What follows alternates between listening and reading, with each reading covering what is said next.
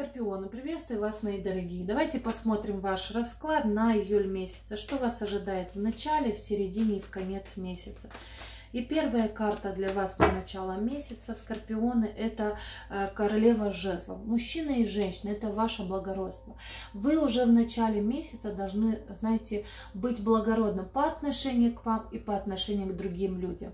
Э, те, которые находятся в отношении, здесь есть мужчина. У вас рядом есть такая женщина, да, которая благородна, которая на вас поддерживает, которая она вам может, вот, знаете, дать какой-то совет даже может быть быть. Женщина это вы сами, да, выходите уже в начале месяца, да, у вас это может быть какие-то ваши, э, может какие-то ситуации, когда вы должны кому-то что-то простить. Давайте посмотрим следующая карта для вас, мои дорогие, в начале месяца. Король жезлов. Король жезлов так как мужчины, так как и женщины, это ваше благородство. Хочу сказать, те, которые одиноки в отношениях, да, нет, э, одиноки, которые нету отношений, здесь может быть э, знакомство, но хочу сказать, что это знакомство вы как пара. Вот в начале месяца вы найдете, да, человека, вот то, что вы будете как, э, так как вы да, про себя будете думать, так и он про себя будет думать, да. У вас вот идет как пара. Давайте посмотрим следующая карта на начало месяца для вас. Это э, десятка э, кубков. Мои дорогие, вот те, которые войдут в отношения в июле месяца, здесь могут быть даже рождение детей. Здесь будет да, э, стабильные отношения. Это знакомство приведет к вам даже к семейным отношениям, даже к рождению детей.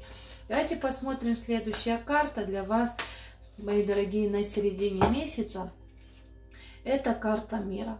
Карта мира показывает, что м, сохраните свои позиции на середине месяца. Одинокие мужчины и женщины, э, скорпионы. Это ваша позиция, которую вы должны сохранить вот на середине месяца.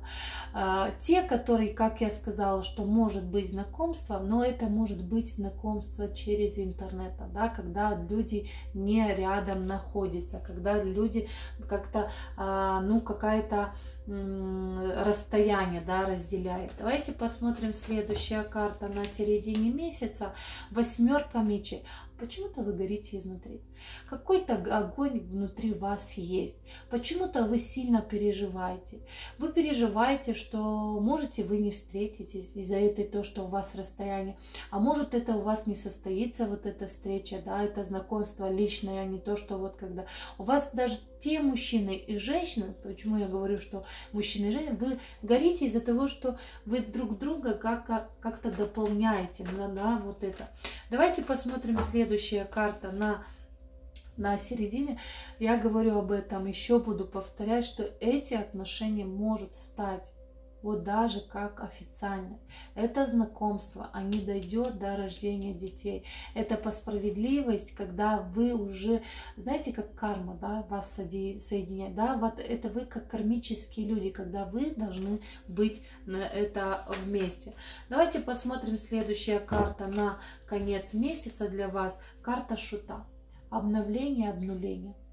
А, скорпионы, женщины и мужчины в вашей жизни – да, происходит какое-то обнуление, какое-то обновление. Ваша жизнь начинается с чистого листа. Даже то, что вы горите, да, даже то, что вы не знаете, до чего дойдете, вы все-таки идете вот через пропасть. Да, вы не, не знаете, упадете вы эту пропасть, не упадете, но вы хотите начать чего-то нового. Вы хотите это дать себе возможность, да, чтобы вы на, начали. Давайте посмотрим следующая карта, да, на конец месяца для вас. Это колесо фортуна. А, мои дорогие, и это будет одинокие люди, мужчины и женщины, это будет судьбоносная встреча. Это будет судьбоносная встреча после каких-то, знаете, после каких-то ваших переживаний, что вы не сможете построить семью, что вы не сможете создать эту семью, вы не сможете, может, забеременеть. Но у вас фортуна дает эти возможности. У вас очень прекрасный расклад. Мужчины и женщины одинокие, то эта встреча дойдет до судьбоносной, да, да, судьбоносные, э, когда вы сможете э, построить себе семью. Даже то, что вы сильно переживали, даже то, что вы, может, были сильно э, разочарованы в свое время, то высшие силы одаривают вам эту, эту встречу. Давайте посмотрим следующая карта, карта совета для вас. Верховная жрица, женщина.